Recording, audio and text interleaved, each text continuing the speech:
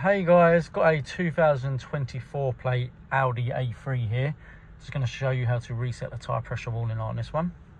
So if you do find the video helpful, please give it a like and if you want to see some more useful content like this, please subscribe to the channel. Right, so on this one, we're going to use the screen in the centre of the dash. I'm going to go to the top right, go press the home button. Then we want to go to car, then settings and service. Scroll down till you get to tire pressure loss indicator.